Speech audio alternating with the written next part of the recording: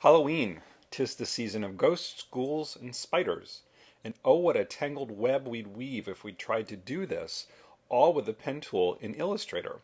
There's a much easier way to do it, which is to divide the design into segments and repeat them. To start out, I've created a 7 inch square artboard and I've dragged down guidelines 1 inch from each edge and to the centers. In the center, of the 7 inch square, I've drawn a second square, 5 inches by 5 inches. So there's 1 inch border, 7 inch around. And the last thing I did to set up the foundation to create this spider web was to draw a 4 inch circle centered on the background in the artboard and divide that circle into a 60 degree piece with what was the center point sitting on the center of the artboard. Both the background and the segment have their own layer. I've locked the background layer and I've created a new layer that I've called web. That's where I'm going to do my artwork, creating the spider web. You can see that a segment is now perfectly centered and it's standing straight. It's symmetrical. That's just going to make it easier to create my final design because it is symmetrical. I don't want there to be a fill in this piece. Let me quickly switch back to my final. You can see what I have going on here is a series of lines, like the silk of a spider web that I can see through. So back here to my work in progress, the first thing I want to do is go to my swatches panel and I'm going to change my fill to none and I'm going to change my stroke to one point you can change it to whatever weight you'd want. And then I'll go back and activate the stroke box. Go to swatches, choose the white swatch. I now have a white outline around this piece. I'm going to now go to my tool panel and find my scissor tool. And it looks like it's hidden under my erasers tool here. It's the shortcut C like Charlie or cut.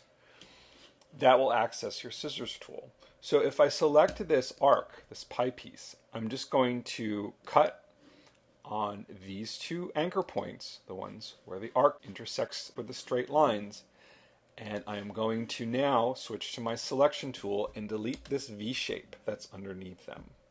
All right. Select the arc. So now I just have one single arc. If I go back to my finished spider web, that arc is this line right here.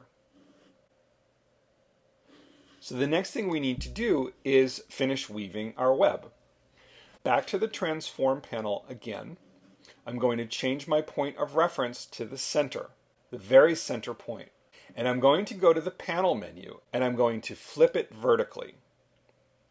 And so now I've got the first strand of my spider web.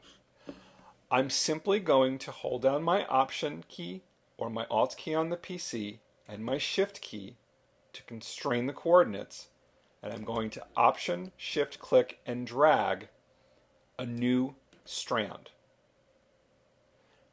Now that I've done that, if I go to my Object menu and transform and transform again, which is Command D on the Mac, Control D on the PC, it's going to remember that distance and it's going to repeat that arc as many times as I need it to. And I'm just going to stop once it reaches the center here. Okay, again, save my work. Good time to save.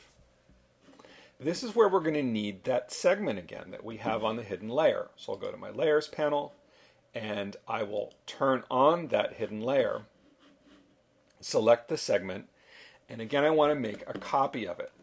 So I'll do it a different way this time. If I hold down my Option key or my Alt key, click the proxy, drag it to the web layer, I've now made a copy again. Okay, I'll hide the segment layer, change the fill to none. So this time I'm going to go up here to my control panel and I'm going to use the shortcut here to just simply bring up my swatches and I'm going to change the swatch to none may help to temporarily go to view and view this in outline because you can now start to see what's happening up here. Right? And it looks like I have an extra line because what's going to happen, well, we'll leave it there so you can see what happens. What I want to do now is go back to my layers panel and make sure that everything but this web layer is locked. Because I like to drag a marquee to make selections like this, or multiple items, and what I want to do is simply click, hold, and drag and select those multiple items.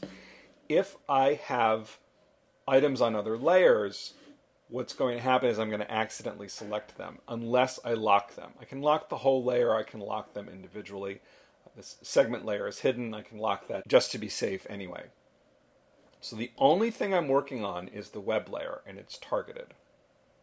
And I'm going to expand that layer because this is important.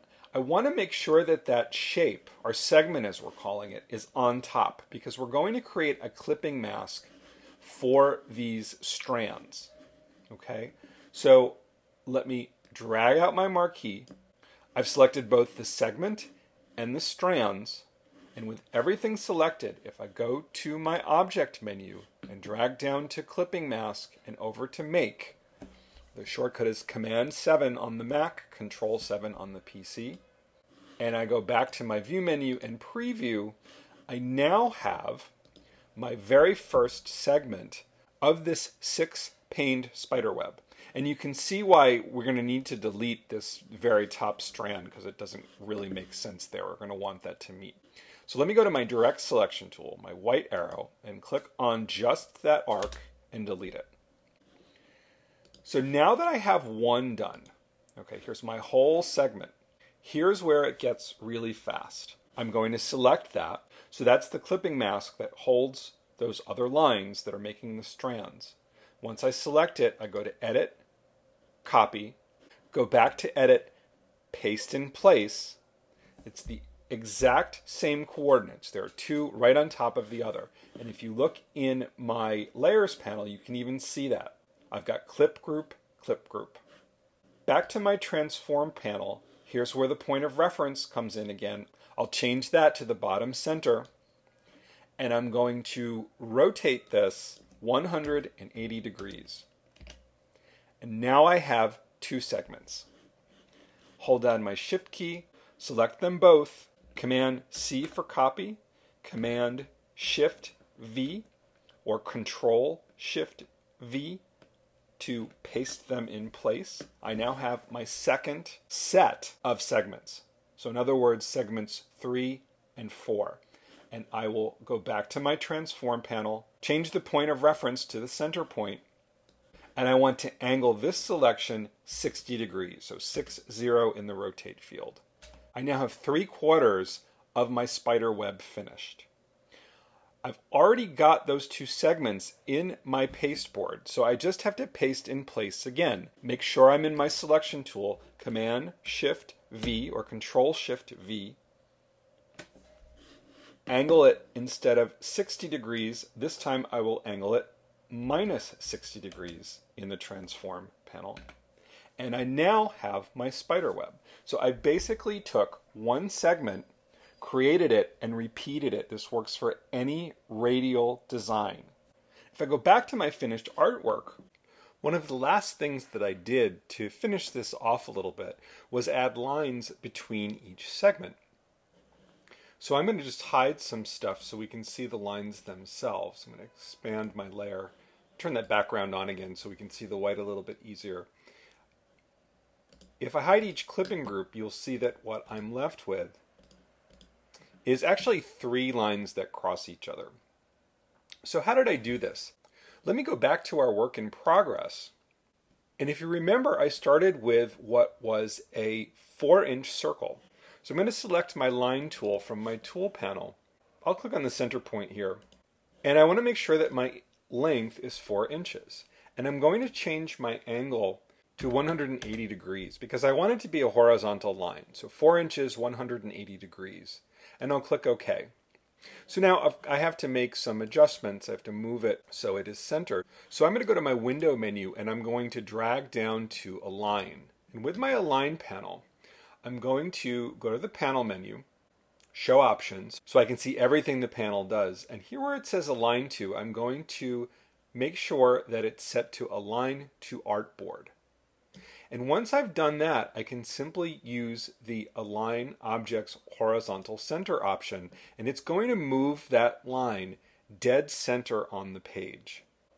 Next thing I'll do is I'll go up here to my control panel and I'll use the shortcut to change my stroke of that line to white. And the last thing I'm going to do is go to my object menu and I'm going to go to transform and use the transform each command. So what do I know about this? Well, I know that each of these segments was created with a 60 degree arc. So with my reference point set to the center, and I'll check preview so I can see what's going to happen.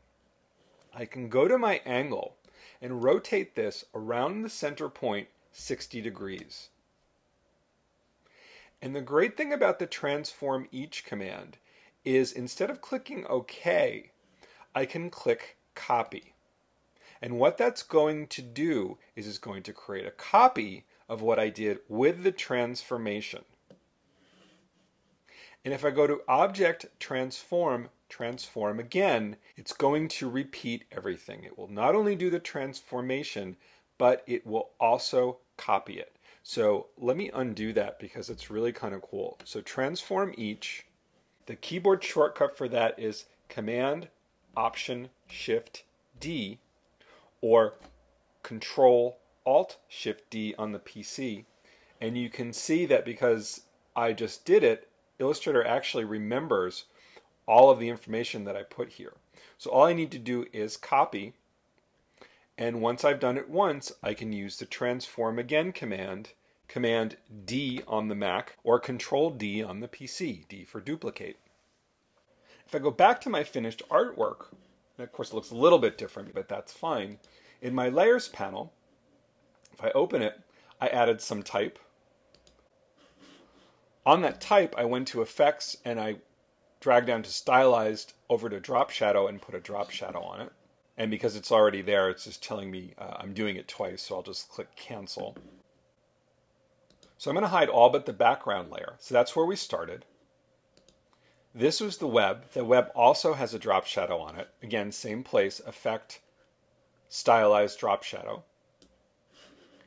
On top of that, I put some type. And on top of that, I drew this spider. And those are really just shapes.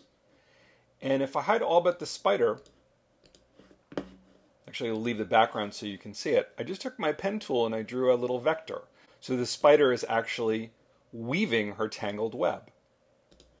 So really easy way to have some fun and work with selections, work with the Pathfinder, work with clipping masks, and work with transformations.